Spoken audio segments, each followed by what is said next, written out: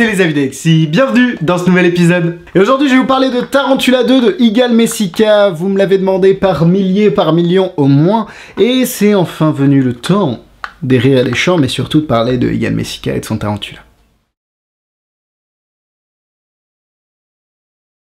Alors Tarantula 2, ça va être un outil, c'est un barillet, un ITR, donc un instant, un Invisible Thread Reel, c'est un barillet de fil invisible électronique qui va vous permettre d'avoir à votre disposition une longueur de fil sous tension de manière invisible. Vous pourriez le faire nu. Voilà à peu près le résumé de, de Tarantula 2. C'est disponible au prix de 85 euros sur le site de Big Magie, n'hésitez pas à l'acheter là-bas, parce que tout simplement, si vous l'achetez là-bas et que vous n'avez pas de compte chez Big Magie, lors de votre inscription sur le site, vous allez rentrer le petit code parrain qui est dans la description pour que je vous parraine et que vous ayez 10% sur votre première commande. Donc ça fait 8,50€, donc ça fait 85 moins 8,50€, ça doit faire quelque chose dans les 77, 76, 78, bref. Voilà, c'est une plutôt bonne réduction, et puis moi ça me fait des avantages pour pouvoir me procurer de nouveaux tours, pour vous faire de nouveaux avis.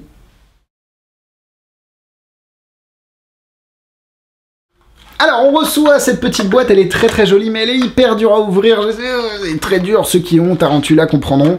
Euh, bref, c'est très dur à ouvrir. On reçoit à l'intérieur le Tarantula que je ne peux pas vous montrer parce que ce serait révéler le gimmick. Sachez seulement que le gimmick est très similaire à la première version en termes d'architecture et de fabrication. C'est vraiment très très très similaire. L'idée c'est que vous allez pouvoir euh, utiliser le Tarantula un peu nu. Voilà, ça vous donne l'idée de où vous pouvez le mettre. Non, non, non, pas là, pas là où vous le pensez, mais ceux qui ont vu la première version comprendront. À l'intérieur, vous avez également une vidéo qui explique un peu les nouvelles fonctionnalités de la version 2 et puis des routines. Les routines sont très très similaires à la version 1. La qualité de la vidéo est juste géniale, c'est du Eagle Messica. Franchement, rien à redire à ce niveau-là. Vous avez euh, des petits brevets qui ont été déposés pour, euh, pour le Tarantula, donc ça montre à quel point Eagle s'investit dans ses produits et y croit. Et évidemment, vous avez le petit câble pour le recharger par micro USB parce que euh, évidemment ce Tarantula a la capacité d'être rechargé par USB, ça évite d'avoir à remettre des piles et à racheter des piles. Donc oui, 85 euros ou un peu moins si vous utilisez le parrainage, et big up à vous si vous allez le faire. Oui, c'est cher, mais c'est un gimmick électronique, donc c'est très compliqué de se dire c'est cher. Je, suis nul en électronique, je sais pas, euh, j'arrive pas à fixer, enfin à connaître le prix. Je peux pas si tu montres un MP4 ou un MP4 ça n'existe plus. Si tu montres un, smartphone, je peux pas te dire à quel prix il est, juste basé sur ses composants électroniques. C'est un peu pareil pour Tarantula, et puis après faut aussi savoir qu'en magie il y a tout ce qui est la recherche et le développement. Euh, bref, voilà, pour moi 85 euros c'est pas volé, c'est pas très cher. C'est le prix d'un Venom au final, quand vous réfléchissez, c'est un tout petit peu plus cher qu'un Venom, parce que les deux Venom sont vendus à 140 euros, donc à Tarantula à 85. Voilà, vous êtes, on est dans la même gamme de prix.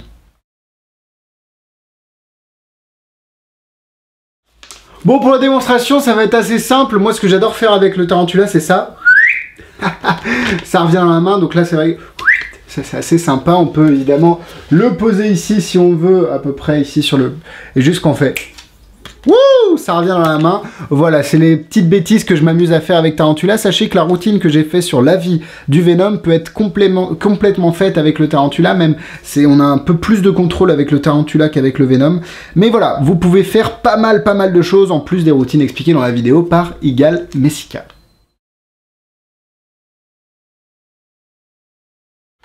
Allez, on part sur les points négatifs. Alors, dans le Tarantula deuxième du nom, vous allez avoir la Soul Technology. La Soul Technology, qu'est-ce que c'est? C'est une technologie qui va faire que, un peu comme une, les vieilles, vous savez... Euh, tondeuses, quand pour l'allumer, il faut tirer un coup pour lancer le moteur. Bah là c'est pareil, vous allez voir tirer sur le fil, dès que vous allez appliquer de la tension sur le fil, le moteur va se mettre en marche. Donc vous n'avez pas de bouton on-off.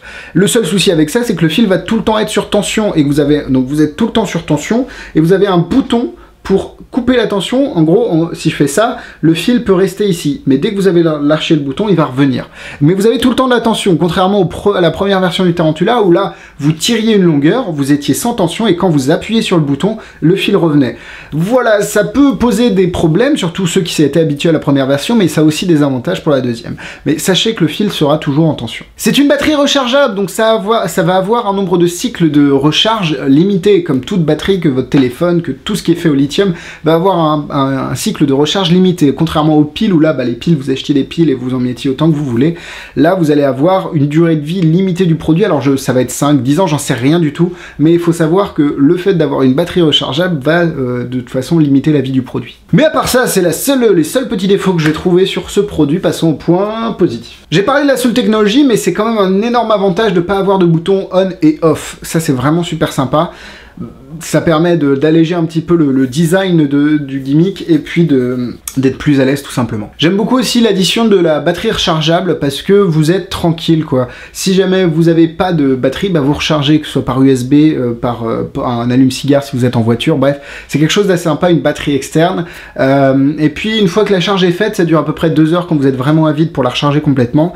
Et vous avez après, moi je l'utilisais à Saint-Malo toutes les genre 5 à 6 fois par heure, je faisais mes petites démonstrations de 2-3 minutes et en, en 10 heures, j'ai pas eu de problème de, batterie qui se décharge. Donc voilà, ça vous donne à peu près l'idée globale. De toute façon, il va falloir recharger votre gimmick avant chaque performance, histoire d'être tranquille au niveau de ça. Ou à ce niveau, ça se dit aussi, mais bon, ça dépend comment vous voyez les choses. Alors, la, fabrication du gimmick est la même que dans la version 1, ça c'est vrai, il n'y a pas de, choses qui ont été ajoutées. Là, dans le, trailer, il dit « Ouais, vous pouvez l'utiliser les mains vides ». Bah oui, c'est sûr, si tu mets le gimmick dans la poche, c'est facile d'utiliser les mains vides. Arrêtez de crier, s'il vous plaît, dehors, merci. oui, il y a des gens qui sont dehors. Non, bref, je reviens ici... Euh, à la critique.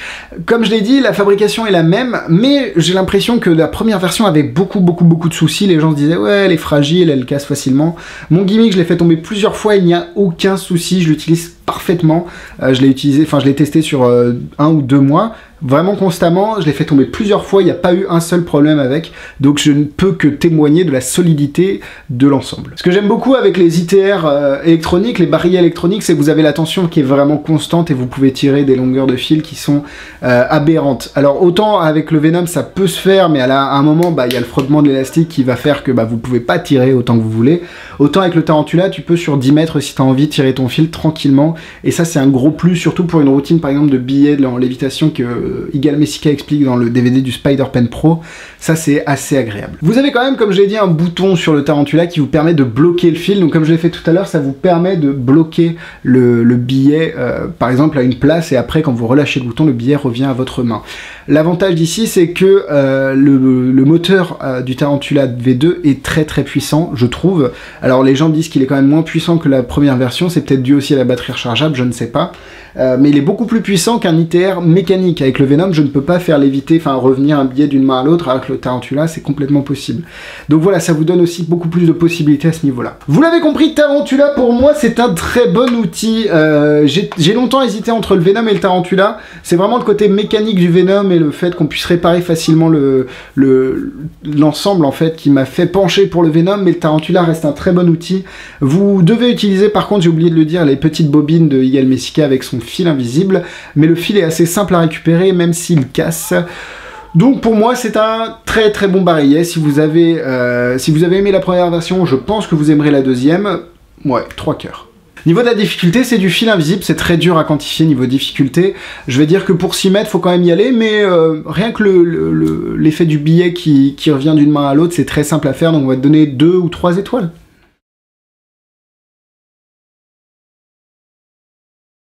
En produit similaire, vous avez évidemment le Spider-Pen Pro en barillet électronique et vous avez le Venom en barillet mécanique. Euh, après, c'est vrai que ça a vraiment pris la place, euh, ça, s'est mis sur le devant de la scène, ces barillets-là. Vous avez évidemment les vieux barillets de, Sorcerer Workshop, je crois.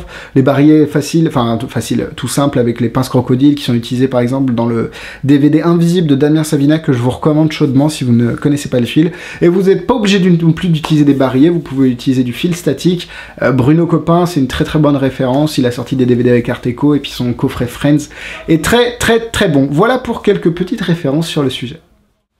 La vidéo est terminée, j'espère qu'elle vous a plu. Si vous souhaitez vous procurer certains tours, comme le Tarantula V2 que je n'utiliserai pas vu que je vais utiliser Venom, bah c'est dans la description, peut-être qu'il est déjà vendu. Tout cas, il y a un lien pour voir tous les tours que je vends. Merci beaucoup aux tipeurs qui ont fait un don. Merci à vous. Ça me fait vraiment chaud au cœur et ça montre que vous êtes là. Merci, merci, merci. Instagram, YouTube et Facebook, n'hésitez pas à liker ces différents réseaux sociaux pour être tenu au courant de toutes les actualités que je peux avoir. Peut-être que des fois je me brosse les dents, je vous le dis. Des fois je vais aux toilettes, je vous le dis. Non, je vous assure, c'est beaucoup plus intéressant que ça. En tout cas, je l'espère. Et puis moi, je vous dis à la semaine prochaine. Bisous, bisous